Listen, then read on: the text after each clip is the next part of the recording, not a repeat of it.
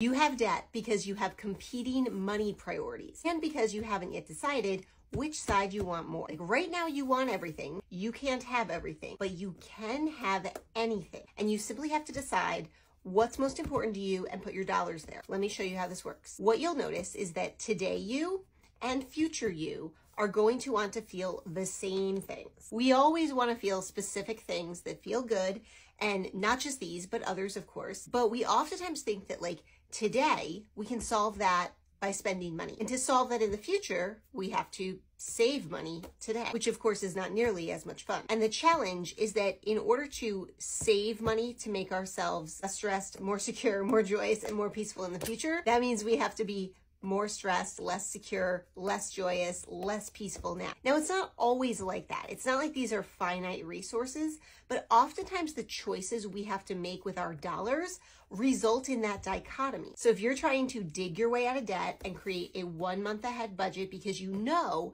that that's going to help you feel less stressed in the future, that means that in order to make that happen, you have to spend less money now, especially trying to get out of debt. And so all the things that you want right now, like a spa day just represents like shopping on Amazon or shopping at your favorite store, going out with friends or going to concerts, all the things you might do now that would make you less stressed, you can't do because you're saving that money to be less stressed in the future. And this is all a balancing act. It's not like you should never ever do things to make yourself feel less stressed now because you should only be saving for the future. Like it's not one way or the other. It's a matter of balancing. But the people who end up tipping the scale more in favor of the future are going to get there faster. And while none of this is rocket science, the problem is that you may make some fabulous decision on paper and decide that you're going to cut back on your spending, but then the weekend arrives and you don't actually do that. Like you know exactly what to do. You just don't do it. And that's because, you know, we're not robots. We have feelings and we act on those feelings. And honestly, we've had a lot of past experiences that lean in favor of like YOLO and FOMO, where we bought, you know, one specific thing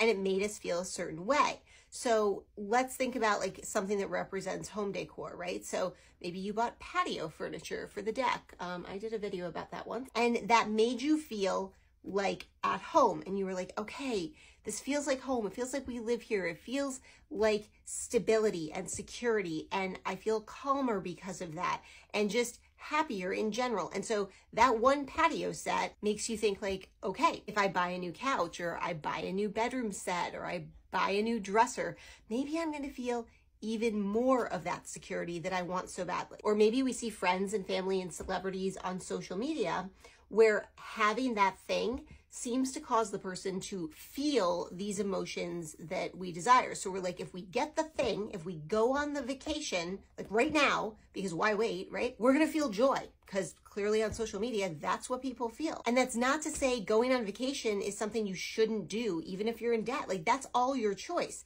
But you have to balance it with like, what if you waited a year and took the same vacation and paid cash? Would you enjoy it even more? Would that be worth it to you? Everybody gets to make their own decision about where they're going to weigh this. So the problem with thinking back on all those times where you were like, I did this and then I felt this, so I'm going to do more of this. Here's the problem. It's this fear of missing out mentality. And without realizing it, what we're really thinking is, I love the way I feel. I feel happy or confident or competent or in control or secure or all of these things. And we're afraid that that feeling is going to disappear.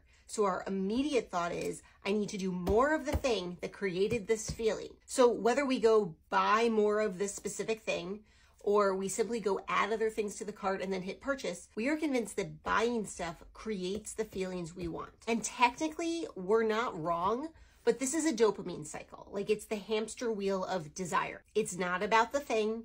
It's about chasing the high of anticipating the thing. It's way more exciting to, you know, search for the thing, buy the thing, see the email that the thing got delivered to your porch, go home and unwrap the thing, than it is to actually use the thing a month later. And that's why we actually want more of the buying process because it's an anticipation process. But this is terrible for your wallet if all of these things don't fit in your budget all at once. You can have anything you want because you can budget for the one thing or some of the things, but you can't budget for every single thing that crosses your mind that you want. And here's the issue.